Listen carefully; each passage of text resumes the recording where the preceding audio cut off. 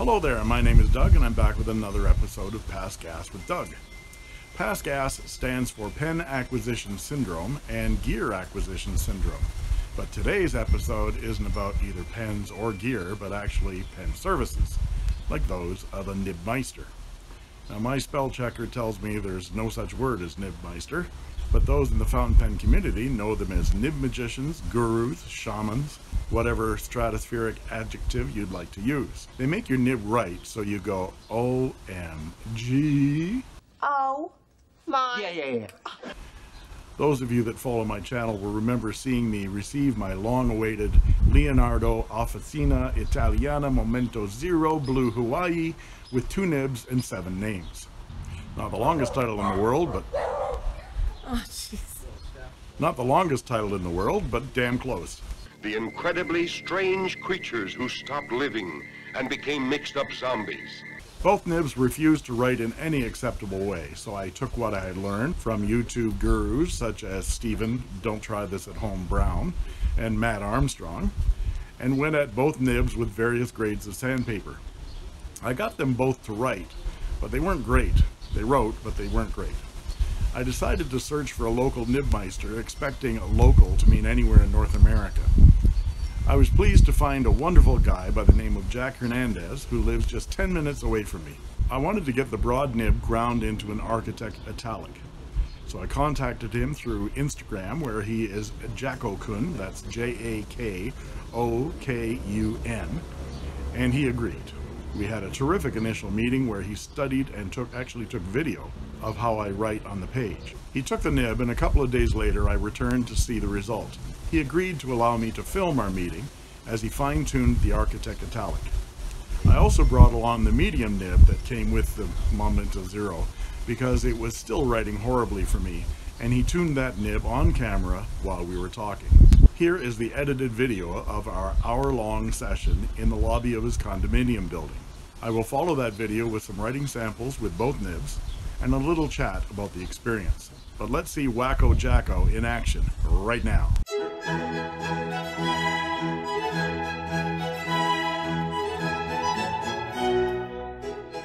Here I am with my new pen friend, Jack Hernandez, mm-hmm. Nibmeister to the stars.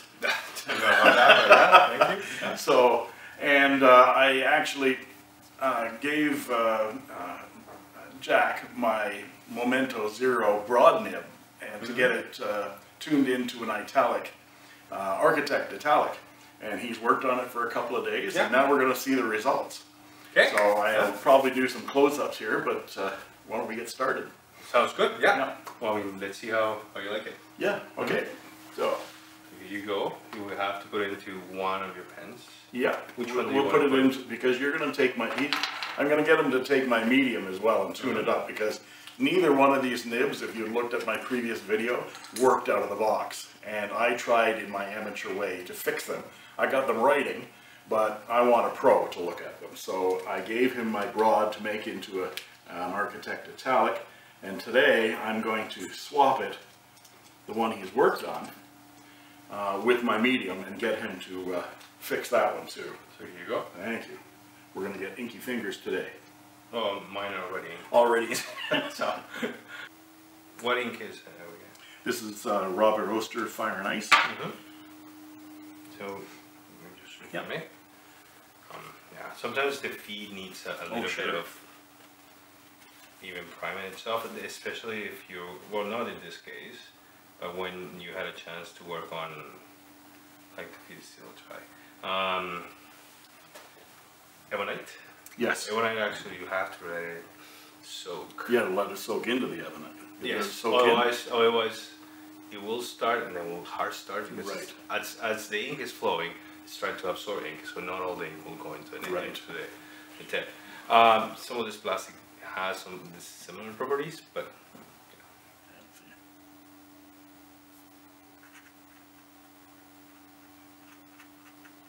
Still, needs more. I just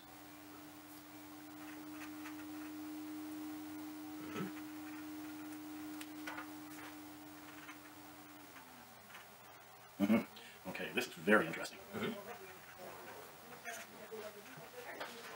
I I'm loving the line variation I'm getting out of this. Of course, this is my, my, uh, M eight hundred. And, uh, that's the M eight hundred with a Pen BBS. Uh, fine nib, right there. And you like it very, very well. And look how wet that is, you know? This is Rhodia, by the way, Rhodia paper. Yeah. What did you say it was? Uh, Robert Oster? Robert Oster. Fire and Ice. Which I think matches this pen really nicely, It is. it but uh, it also gives a lot of really good shading. And I thought with, with a thick line like that and then a thin line, the shading I'd get out of it would be really cool. It does, and if you take longer lines, it will carry on and you'll see the fading. Uh, much more so as you see in this long strokes. Yes. How is the feedback? The feedback is, oh, uh, it's a lot of feedback. Um, So, and I know you're doing that on purpose because it's easier to make it less feedback than it is to get it back again. Exactly, so. So uh, I would like this uh, a little bit smoother than Okay, this and we can do that. because I'm finding my stroke gets kind of stuck on it. Well, and, and going through this, uh, uh, as I was, I was touching the paper, Yeah, I can feel some yeah, of the, it- yeah, it's starting to scratch the paper a little bit. right? Yeah. And it all depends on Oh, how that's heavy, nice. How heavy your hand is. It's really starting to come, to flow Right. now. Mhm. Let's try this. Yeah, that's, that's, Okay, okay.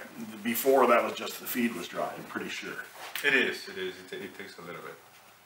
Yeah, but I'm getting stuck on my upstrokes, Mm-hmm. Okay. Um, and I try to light, write with a light grip. Mm-hmm. And I kind of, there's another reason I like the Momento Zero, uh, with the grip. Mm-hmm. I know some people don't like that milk bottle shaped grip. Okay. But I find I can, I can write with it like here, almost right up on the barrel, rest my index finger Mm. on Like that cradle, slope. Like a cradle. Yeah, like a cradle right there. Or I can hold it down here. Um, and I can vary my grip depending on what surface I'm writing on. But boy, oh my goodness. Oh, Jack, that's lovely. I'm, yeah, just take some feedback off Yeah, of that we'll and make take- it smoother. We'll take that. then. And that will be terrific. Huh. Wow, that's very nice.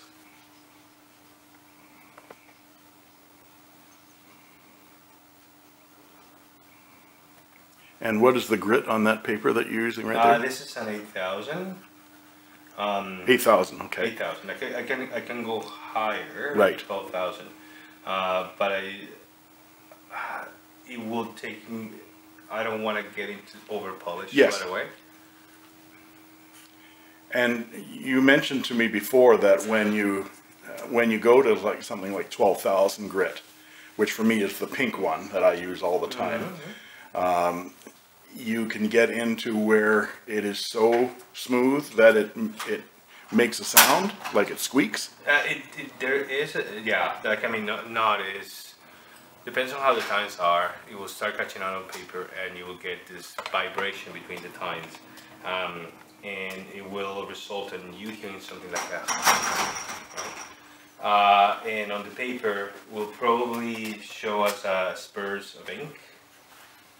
Um, What do you mean by spurs of ink? uh, like a little arburst. of Oh, yeah, a little burst. Yeah, and that's as the, as the, as the tines They go vibrate. back, they vibrate. Very cool. Um, it is personally, I, I don't. I, I try to avoid that, Mhm. yeah, and and to get into to get it off the net you you either have to create feedback or reduce feedback. It all depends on how the tines are, Okay, or realign in a different way. well, okay. So it's not a simple solution. If you it's have a trial and error. Yeah, okay. Yeah, Because I have a, a couple of nibs that actually do that squeak, and it's like nails on a chalkboard for me. It is. It It's is. like, it is. It is. You feel like I'm breaking the nib. Yeah. That's that's what it feels to me. Yeah, Um, so I'm cleaning it up a little bit because as I am um, smoothing the ink, um, the nib, I'm taking material from whatever uh, surface I'm using to grind, and that will get stuck between the townies. Right. Um, that So will you use a affect- brass shim to, or to clean it up? Exactly. Yeah, Um, and it's just to clean it up. See, Right, as you can yep. see, there's a little bit coming in. I, I have a uh, spark plug gapping tool that That one's good. Uh, It goes like from, all the way from point zero zero one, all the way up to like twenty. Yeah, I don't. I don't. Uh, is it a steel? It's steel, yeah. Yeah. There's one that is brass. It's a little bit more expensive. Uh, the idea of the brass shim sims is it doesn't scratch steel or Right. gold or things. So Right. uh, the ga- the gauge meter Yeah, right, yeah. is uh, can try. it. And it's great. When I use it, when I need to use it, I use it between two brass shims because of the same idea.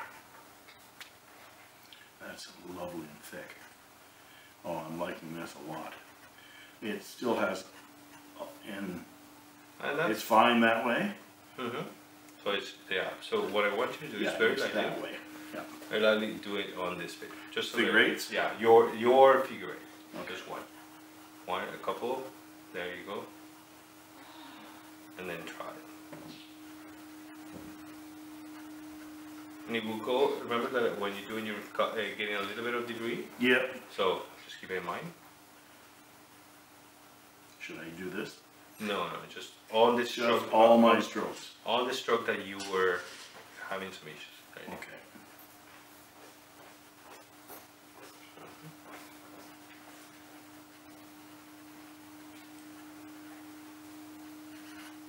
Okay. Yes, that, that's right there. Okay.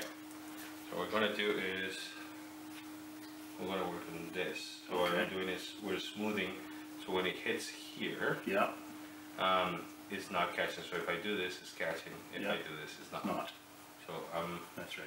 trying to round Just it. taking that edge off. hmm And it all depends. And you're like it- rolling it too while you're doing it. Yeah, yeah, because I'm trying to create that kind of a slope or Yes, round. it. yeah. Um, if you're, like in this case, if you're a lefty, Mhm. you wouldn't have noticed because there's no, um, there's no, there's no catching on the other side, Right, yeah. right? And you will find that there are pen, there are pens that works really well for one person and not for the other. Um, one is the way they hold it, the other one is they may just be lefties. There you go. See how it sounded differently. Now I'm holding it different than Yeah, of course you you are. are. Everybody holds a pen differently, right? Oh, that's much better. Now, that, that is really interesting because not only is it giving me that thickness and that line variation, but now you've taken that edge off. I still have feedback on the page, yeah. which is nice. It feels like a graphite pencil, but uh, it's not catching. It's not catching and, and Yeah, that's much better right there. I, I like feedback. I, I Yeah. prefer having feedback than none. And And it's because I feel the- like there's a pen.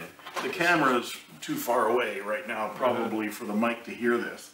But I think what I'll do is when I get home, I'll, I'll put the mic up next to the Uh, paper. right, yeah. So that they can hear that, because you can actually hear that on the page. And it's not rough, and it's not scratchy. No, it's actually very pleasant. It's very pleasant. Yeah. Just a little. It's fine when I roll it this way. Mm-hmm. When I roll it up to here, Okay, okay. So, so it's more on the point. yeah.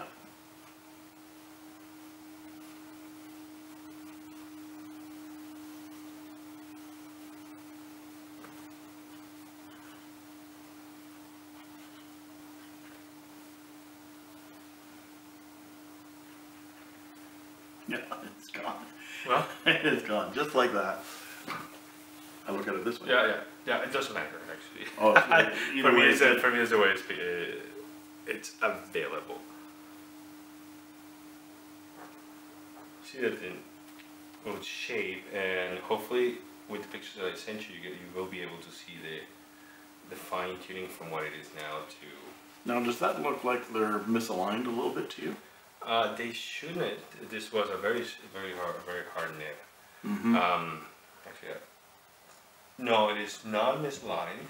What we did is we, because the way you were holding the nib, Mm-hmm. um, it just seems like it is one up and the other Yeah, one yeah, down. yeah. But it's not really. It's just a tiny bit here polish, And that's for the angle? so you don't catch on the angle. Wow. Yeah. Yeah. So if you look at when you look at a nib, you have to look at it in four ways. Right. Um, and one is, I mean, front, sideways, and of course backwards. And Right. you always look at the point. And you will find that depends on how you see it, one side will be aligned, Right. misaligned. If it is round, definitely you will always see it aligned. Um, but when a person starts to change the way they write, Yeah. um, the nib will eventually change its I way see. too, right? If you go this way, then yeah. sometimes. Now it's discussed. Some people say it always have to be even, and I and I agree. There's it has to be some symmetry Right. on your nib, Right. uh, but your hand doesn't write symmetrical. Right. Exactly. So you try. it. You start with a, with uh, to have symmetry, and that goes your feet, that goes your your nib, and then you work your way to whatever is symmetric to you Right. as a person. And I would say, I know what it was. There you go. It is a little A bit little bit off on the feed. on the feet. Because the feed will push the nibs tines around as well, Yeah. depending on how it's oriented. Sometimes you don't have to work on the. Sometimes you'd be surprised if you just align the feed, Yeah. you would align the nib, like nothing Right. happened. And a misaligned feed will also affect how the flow goes. And because is that just how the nib is on the feed, or actually the shape of the feed itself? Um, When you talk about sh- setting uh, feed. well, yeah, that's the spacing between the the nib, Yeah. the nib itself, and the feed, Yeah. and that can change. Um, it all changes how the flow is, right? Right. So what you're trying to, to get the feed, the feed, the purpose of the feed is to get the ink in the nib. Right.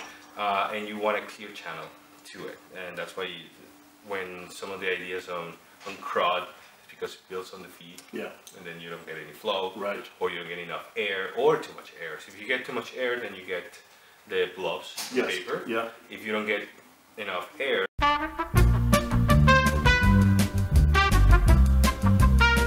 Okay, I apologize for the abrupt ending to that video, but my camera decided to shut down in the middle of recording.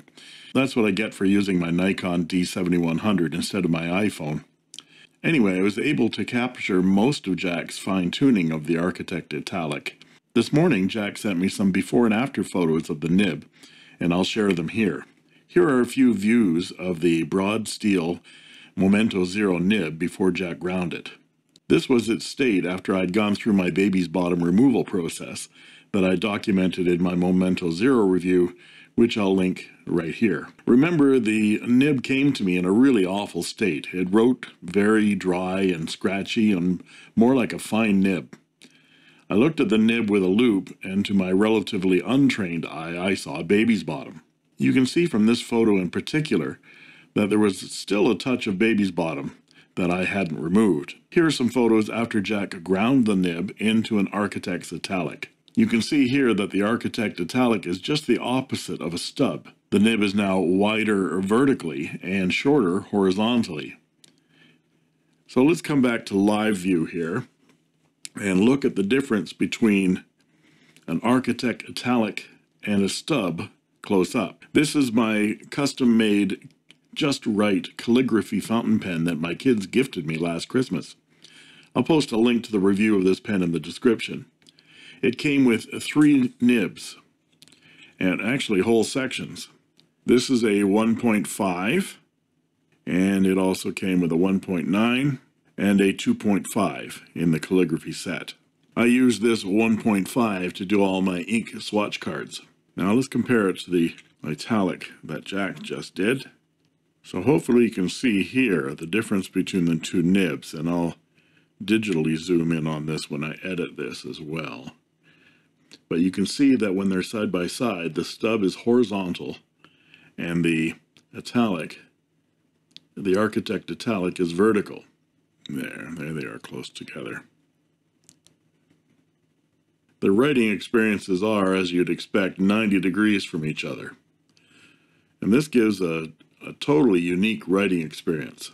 So let's do some writing samples with a stub and then with the Architect Italic to show the difference in the writing experience between the two. So first the stub. I'm going to uh, use the Robert Oster Fire and Ice that was in the Momento Zero to start with.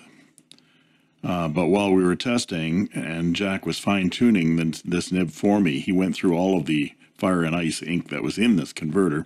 Jack refilled the pen with a lovely green that for the life of me I cannot recall the name of. But I'm going to use it for the stub.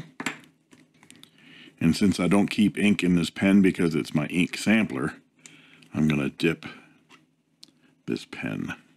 This is the 1.5 millimeter stub.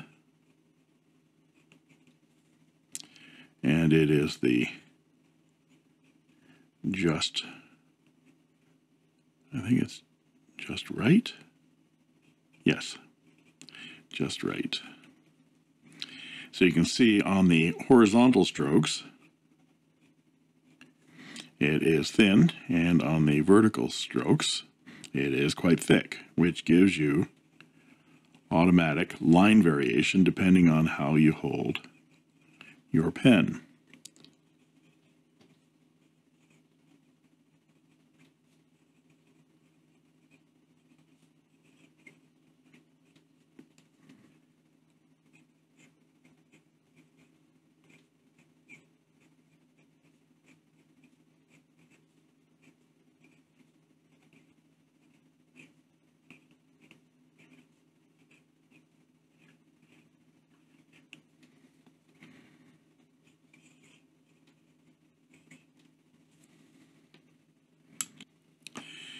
Now for the architect.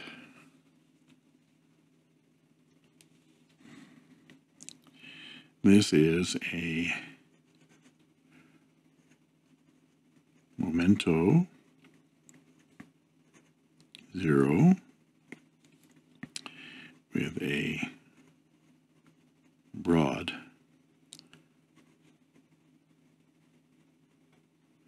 architect italic. And the vertical strokes are thin and the horizontal strokes are thick, which gives you the opposite line variation, which is quite unique.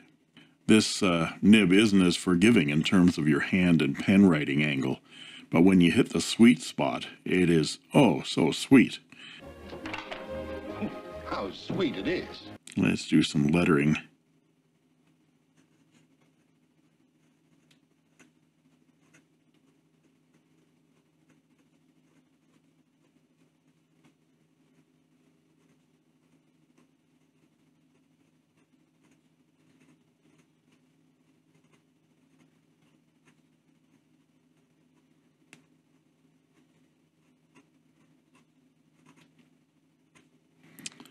and numbers.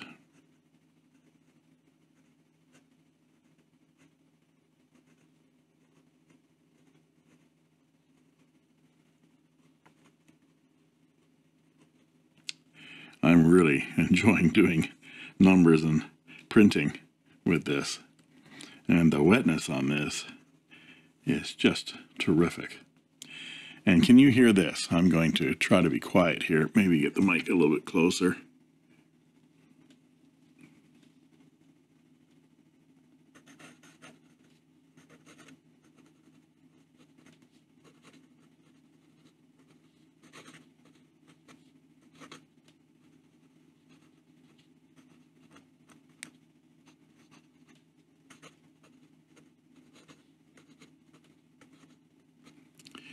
See, that's uh, that's got quite a bit of feedback, and it's not bad feedback either. It's uh, not scratch. That's tooth. It's a wonderful feeling when you have it have feedback tuned to where you like it. Jack tuned this nib as I wrote. I found it would uh, catch in some strokes like these, these going up strokes like that at the top of them and he polished it out with uh, 8000 grit. He cleverly left the nib rough And when I first wrote the first time, it was a bit of a shock. But of course, it's easier to polish away feedback than it is to reintroduce it. And each time you rub the nib on some sandpaper, you lose a little tipping material that you can never get back again. So slow increments with the writer's stroke and pen angle tune that nib to the individual writer. Now, also missing from the video of Jack and me was Jack tuning the medium Momento Zero nib for me while I waited. Here's that nib now. I put it in my M800 Amber, and he got it writing for me while I watched. Also, Jack invited me to the uh, Calgary Pen Club.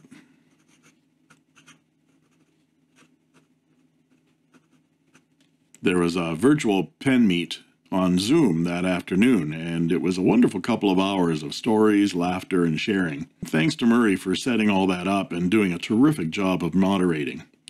I was able to virtually meet with uh, Stephen Brown, whom I've watched and admired for a long time, and uh, a whole bunch of local pen enthusiasts who are a wonderful, eclectic group of people the ritual hazing of becoming a pen club member, where I wrote Calgary Pen Club on my forearm in fountain pen ink for everyone to see, it washed off fairly easily, no permanent damage. This Leonardo Officina Italiana Momento Zero Blue Hawaii just got three more names Broad Architect Italic.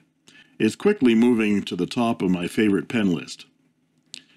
Leonardo Officina Italiana Momento Zero Blue Hawaii Broad Architect Italic. Mambo. Or what we might call L O I M Z B. No, I got that wrong. L O I M Z B H. There we go. What does that spell? Loimsbabai. I like it. I'll write with this for a few weeks before I make any rash predictions about the favorites. So, thanks for joining me in another episode of Pass Gas with Doug. I guess since it's pen service syndrome, I should have changed the title to Pass Piss with Doug instead of Pass Gas. But I didn't want my video to be taken down for pissing off the censors. And if you like this video, Please like and subscribe, and don't forget to ring that bell to get an instant notification of new videos. And that just leaves it for me to say thank you for watching. And that's all she wrote.